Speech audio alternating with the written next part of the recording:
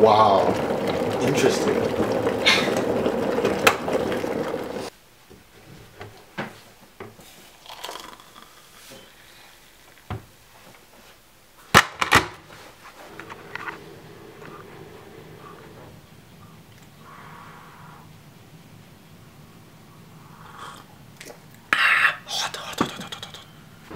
Good morning, guys. What is up? It's I think eight o'clock in the morning, um, and it's the first day of uni. So I'm gonna guys, I'm gonna take you guys through my entire day. I'm gonna show you how I structure my day, how I eat while I'm on contest prep, while being in uni, and also how I fit going into the gym into my schedule. So I'm gonna show you all my meals, and I'm gonna show you what my day is like. Cheers, guys.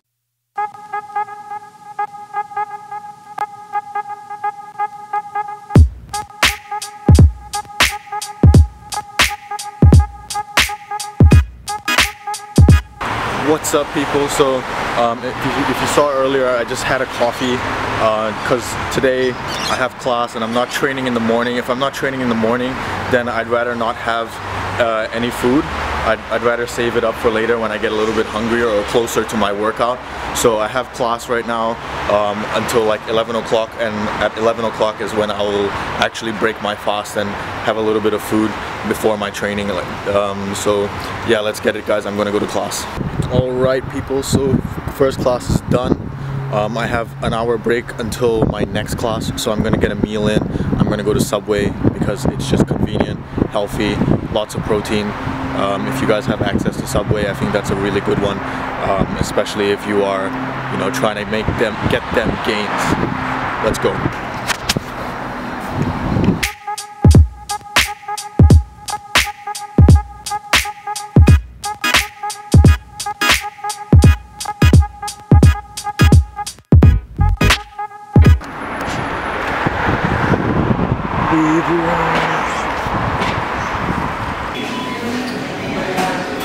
Hi, good morning.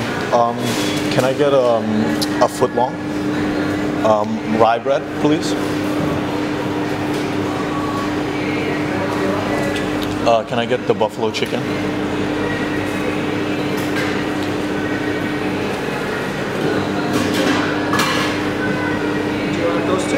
Uh, yes, please. Uh, no cheese, please. Can I get a double chicken, please? Double meat.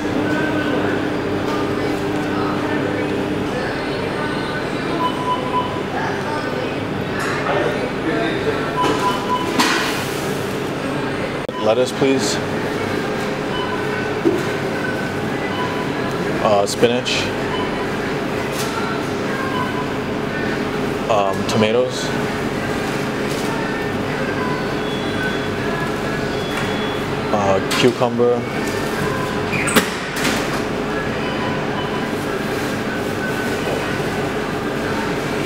Um, and carrots, please. Uh, can I get the garlic and chipotle? That's it. Oh yes, it's all in pepper, please. Yep, that's it.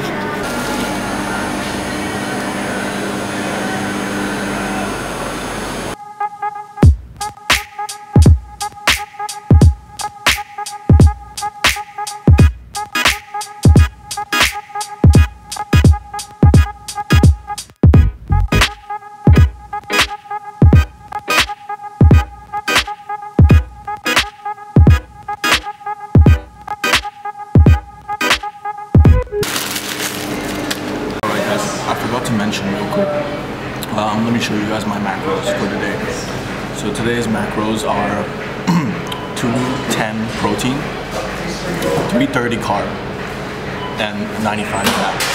So this meal um, at Subway, I tracked it because I'm still in contest prep.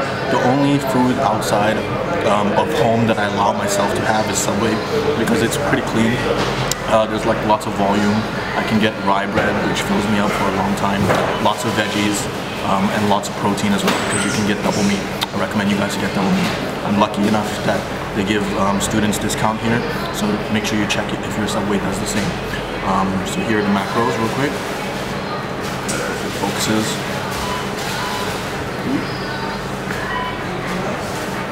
Why is it not focusing? But I'll read it out to you anyway. Um, it's 910 calories, 84 carbs, 22 fat, and 88 protein. I'll check in with you guys afterwards. Alright, so I had my first meal and then now I still have a little bit of time before my next class. So I'm just gonna get some work done on my computer. And then yeah and then after that class I'll be hitting the gym. So what I wanted to say is like you know if you guys have time in between your classes don't just like muck around and stuff. You know get some work done be productive you know um, read up on what your next class uh, do some other work. Like I'm gonna do some editing right now. And um, you know and then after that next class I have like a two or three hour gap in uh, until my later class so I'm gonna go to the gym you know? So whenever you have gaps in time whenever you have free time you know get your gym done get your work done that's it guys. Alrighty people so that's my second class done. Um, heading off to the gym right now. I'll see you guys there. Hey guys. What's up? So I'm at the gym right now. Um, and yeah so usually I start off with some foam rolling um, as you always see in my videos. So I'm just going to take you guys through that and I'm going to take you guys through my leg workout. Uh, I don't think I'm going to do a commentary today. Uh, I'm probably just going to do an edit. So yeah, stay tuned.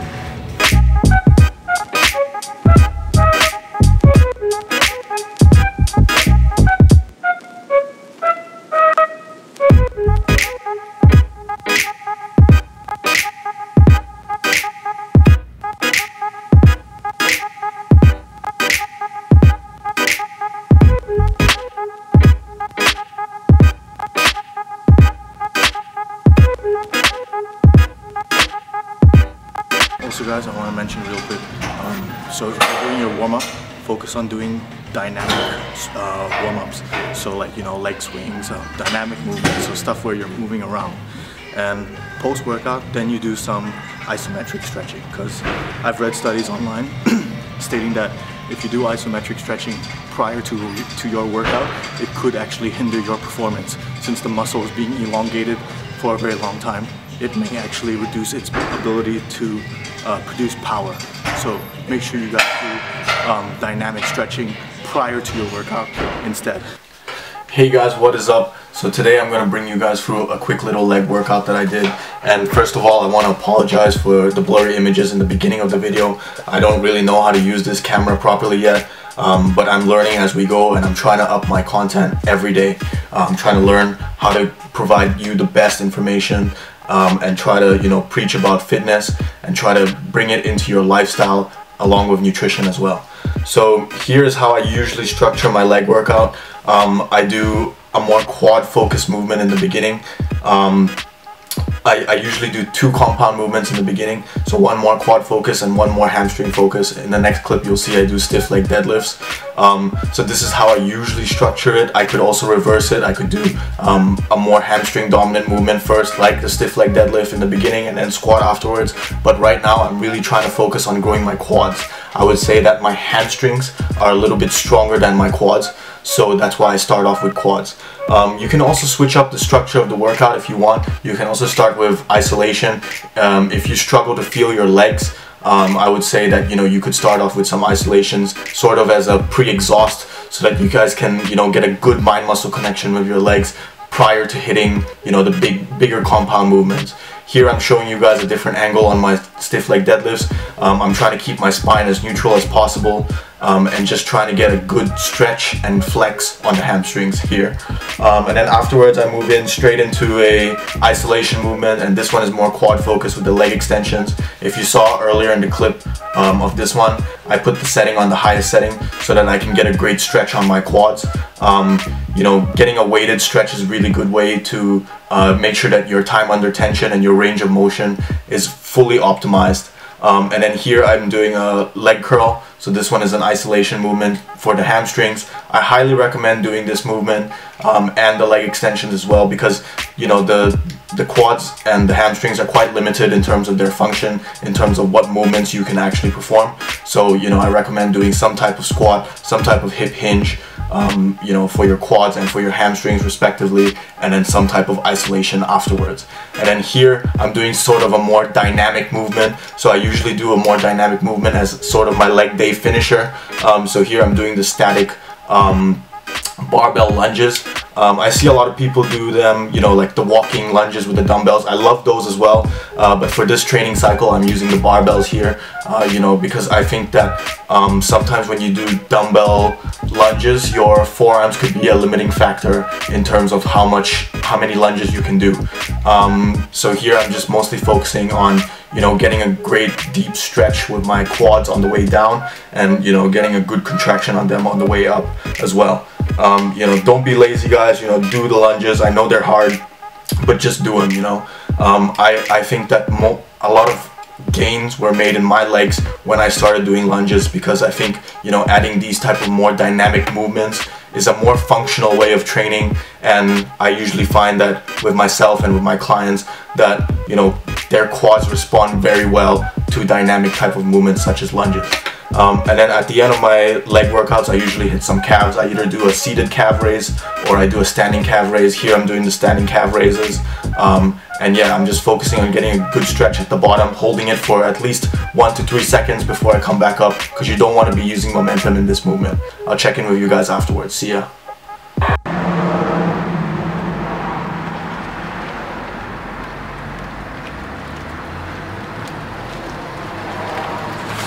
Alright, so gym is done. My legs are absolutely cooked. Um, I'm gonna get a protein bar and then I have another class to go to. So, yep.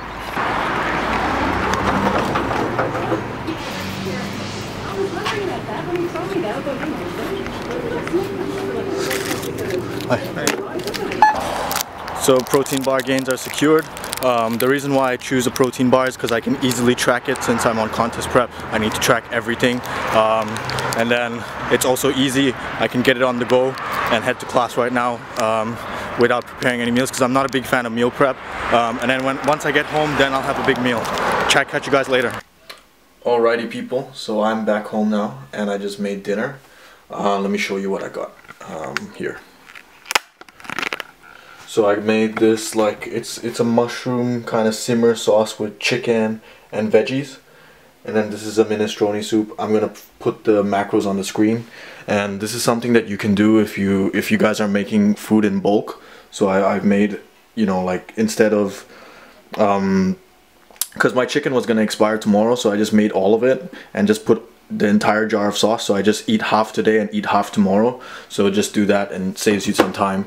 Um, I'm gonna eat that and then I'll check in with you guys later once I try to finish off the rest of my macros. See you guys. Remind me to say later, if I forget to say it, because I was gonna say it earlier, that I'm gonna teach them how to make all this food in another episode.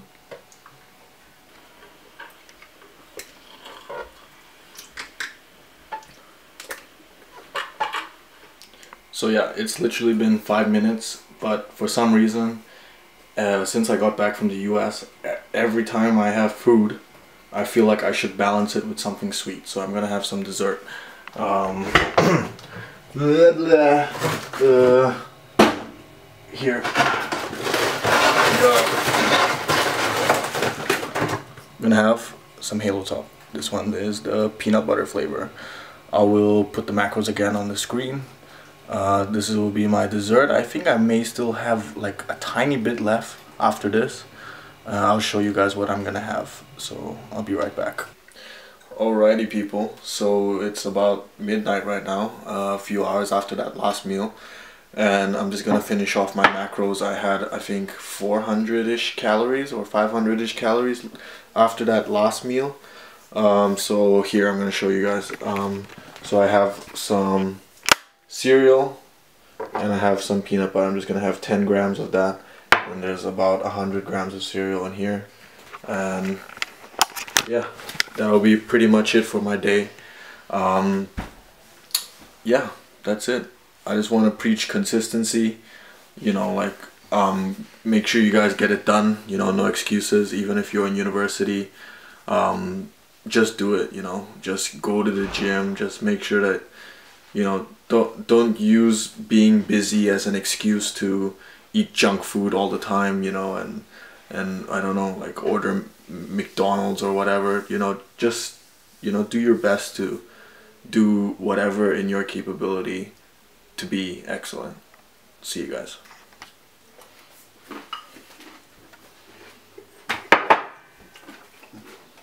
I'll show you guys how to get your fats in. So if you're like a chicken eat chicken breast eating bra like I am, you may struggle to get in your fats. And this is the most delicious way to get your fats in. You grab a little bit. Whoop.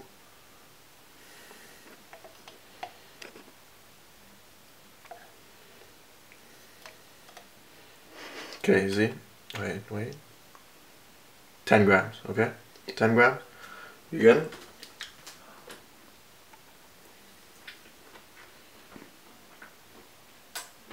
Have an honor. You can cut the video.